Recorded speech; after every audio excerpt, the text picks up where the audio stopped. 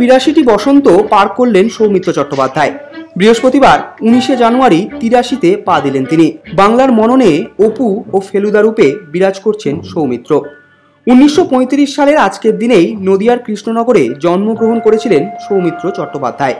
পরিচালক সত্যজিৎ রায়ের অপুর সংসারের হাত ধরেই উনিশশো উনষাট সালে মাত্র চব্বিশ বছর বয়সে পাকাপাকিভাবে চলচ্চিত্র জগতে প্রবেশ।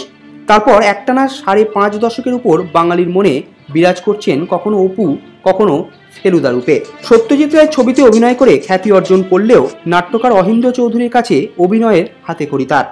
শিশির ভাদুরীর সঙ্গেও নাটকে কাজ করেছেন। প্রথম জীবনে রেডিওতে ঘোষকের কাজও করেছেন। কলেজ পাশ করার পর থেকেই অভিনেতা হওয়ার স্বপ্ন ছিল সৌমিত্র চট্টোপাধ্যায়ের। উনিশশো সাতান্ন সালে একবার অভিনয়ের সুযোগ এলেও আর এক প্রখ্যাত চিত্র পরিচালক কার্তিক চট্টোপাধ্যায়ের কাছে স্ক্রিন টেস্টে বাতিল হয়ে যান তিনি। কিন্তু সৌমিত্রর অভিনয়ের প্রতিভা ধরা দেয় সত্যজিৎ রায়ের চোখে।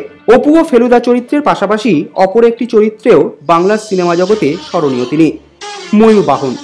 সেই ছিপছিপে ভয়ঙ্কর যোদ্ধা। পরিচালক তপন সিনহার ঝিন্দের বন্দি ছবিতে যাকে দেখে মুগ্ধ হয়েছিলেন সবাই। কে ভুলবে তার অভিনীত ক্ষুদিত পাষাণ। আটান্ন বছরের সিনেমা জীবনে দুশো দশটি ছবিতে অভিনয় করেছেন সৌমিত্র চট্টোপাধ্যায়। পেয়েছেন দাদা সাহেব ফালকে, পদ্মভূষণ, দু দুটো জাতীয় পুরস্কার সংগীত, নাটক, একাডেমি পুরস্কার ও ফিল্মফেয়ার পুরস্কার। তিরাশিতম জন্মদিনে কলকাতা টোয়েন্টি ফোর বাই সেভেনের তরফে রইল সৌমিত্র চট্টোপাধ্যায়ের প্রতি শুভেচ্ছা।